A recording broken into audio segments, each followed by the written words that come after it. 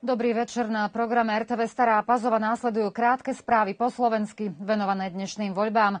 O 20. hodine sa v celom Srbsku, tak aj v Staropazovskej obci zatvorili všetky volebné miestnosti. Podľa prvých predbežných výsledkov účasť voličov je 62,15%, čo je najvyššia účasť za niekoľko posledných cyklov parlamentných volieb.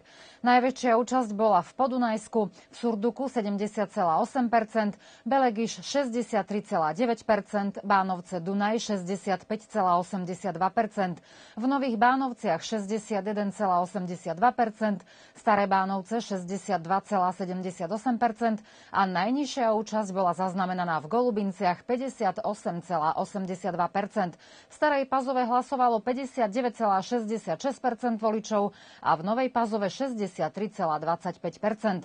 Veľká účasť bola zaznamenaná aj vo Vojke 67,56% a Krneševce 66,87% Podľa údajov obecnej volebnej komisie hlasovanie počas celého dňa prebiehalo v úplnom poriadku bez problémov či incidentov.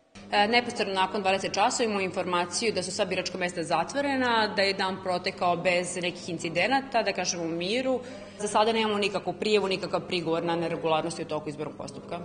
Da li su vas kontaktirali, da li su dolazili posmatrači? E, da, da, imali smo posmatrače, više posmatrača smo imali kako domaćih, tako i stranih. I sama izborna komisija i birački odbori.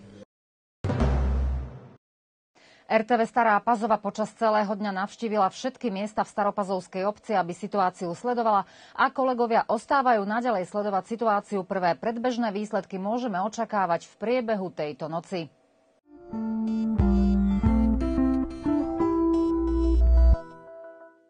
Na záver ešte počasie. V pondelok 4. apríla bude v Starej Pazove jasno, slnečno po celý deň, ale teploty ostanú nižšie od minus 1 do maximálne 12 stupňov. Slabší vietor bude mať premenlivý smer. Nedelné správy končia. Príjemný zvyšok dňa.